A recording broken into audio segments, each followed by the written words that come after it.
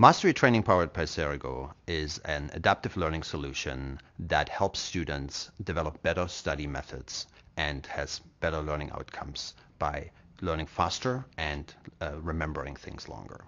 The technology behind that is based on results from neuroscience, learning sciences, and cognitive sciences, and is taking advantage of the fact that the memory doesn't benefit from cramming, but in fact from spacing learning over certain periods of time.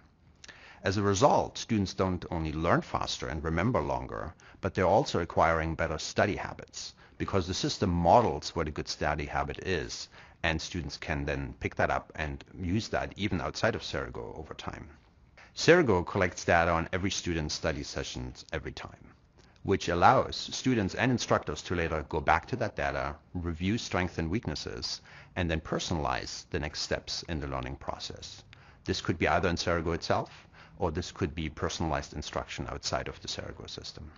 So we're having an adaptive learning solution that provides students with individualized learning at the pace they need, the items they need, all individualized in a way an instructor could never do that in the classroom.